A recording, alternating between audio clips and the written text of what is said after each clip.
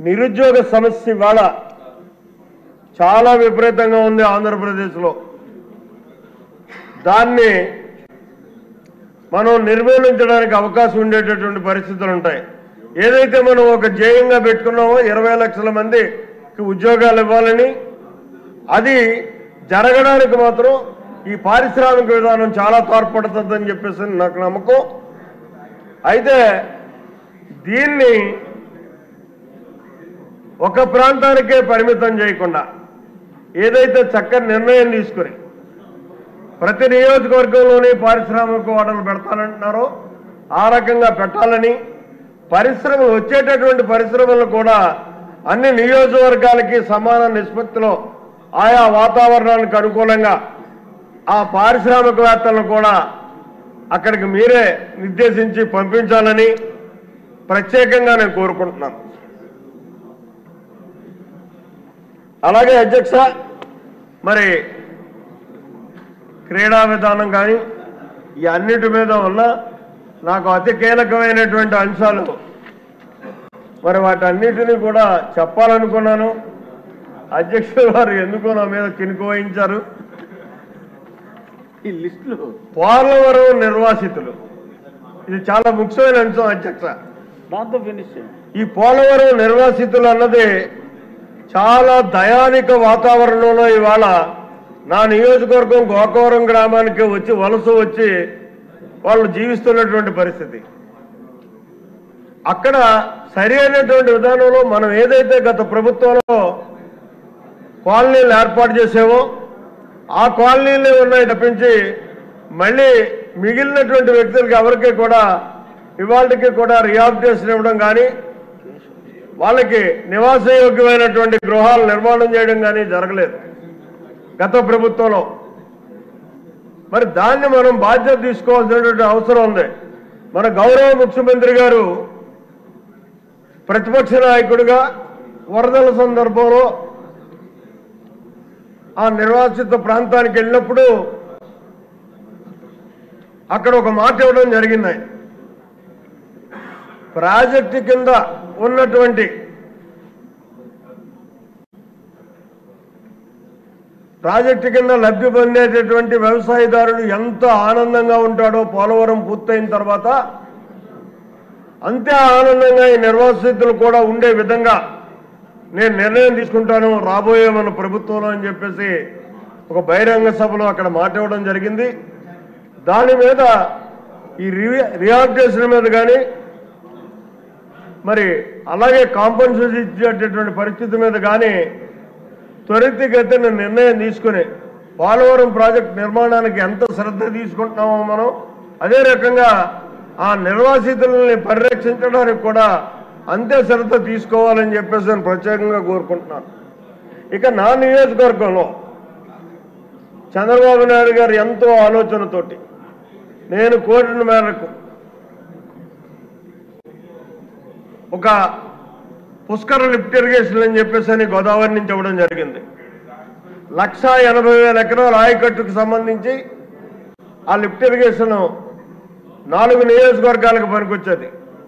అందులో తాళ్ళూరు లిఫ్ట్ అని ప్రత్యేకంగా నా నియోజకవర్గానికి సంబంధించి అరవై మూడు వేల ఎకరాలు. ఆ అరవై మూడు వేల ఎకరాల్లోనే ముప్పై ఒక్క వేల ఎకరం ఒక లిఫ్ట్ పైప్ లైన్ మొత్తం లేచిపోవడం వల్ల గత ఐదు సంవత్సరాలు కూడా ముప్పై మూడు ఎకరా ముప్పై వేల ఎకరాలు కూడా పంట పండనటువంటి పరిస్థితి ఉంది.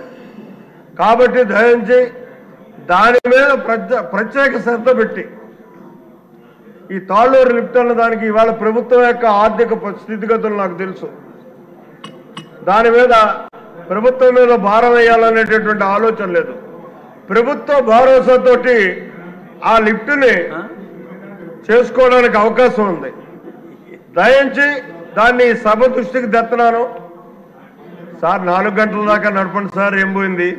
గారు ఇప్పుడు కేశవ్ గారు పది నిమిషాలు అది కాదు, నాకు తర్వాత ముఖ్యమంత్రి గారు మాట్లాడి ఢిల్లీ వెళ్ళాలి. ఈ సమస్య చాలా. పెద్దదే నాకు ముప్పై వేల ఎకరం పంట ఐదు సంవత్సరాలు పెట్టి లేకుండా పోయింది.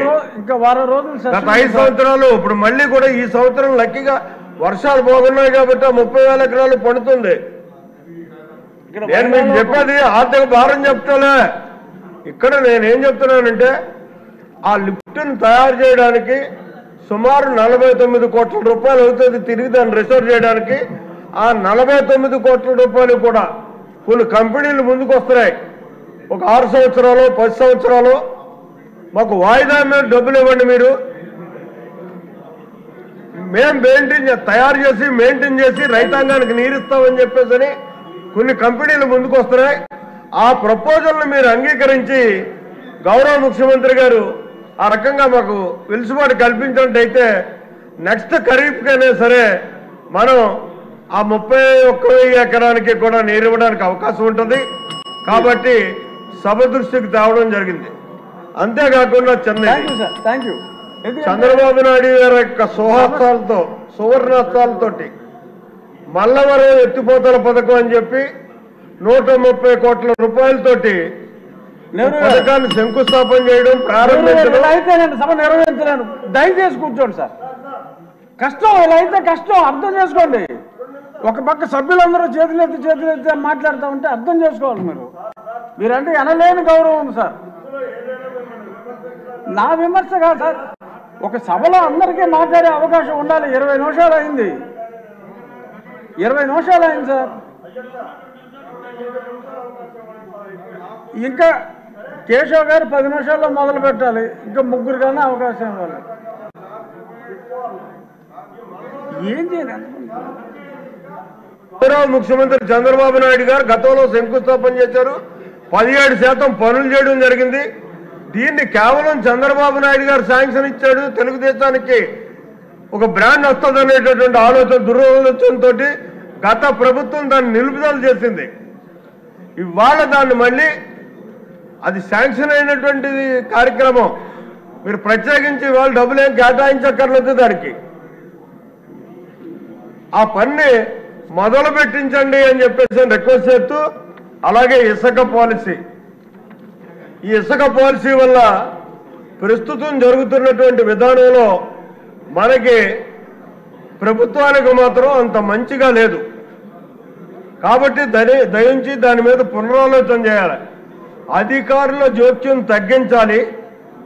ఏదైతే గత పూర్వ విధానంలో ఎవరికి అవసరం ఉంటే వాడు వెళ్ళి ఇసుక తెచ్చుకునేటటువంటి విధానం ఉండేదో అదే విధానంతో మనం వదిలేసినట్టయితే పై ప్రాంతాలు పై రాష్ట్రాలకు పోకుండా నిరోధించగలిగి ఫ్రీగా ఆళ్ళే వెళ్ళి తెచ్చుకునేలాగా ఆళ్ళే తవ్వుకునేలాగా ఆళ్ళే ట్రాన్స్పోర్ట్ చేసుకునేలాగా చేసినట్టయితే ఇసుక వల్ల మనకు మంచి వచ్చేటటువంటి పరిస్థితి ఉంటుంది అన్నది నా ఆలోచన. దాని మీద దృష్టి పెట్టమని చెప్పేసి వినయపూర్వకంగా కోరుకుంటూ ఇక మట్టి. ఇంకొద్ది సార్. ఏ ట్యాక్స్? సార్ దయచేసి కూర్చోండి ఇంకా. లాభం లేదు. లేదు I have to use my description I'm sorry I'm sorry I'm sorry sir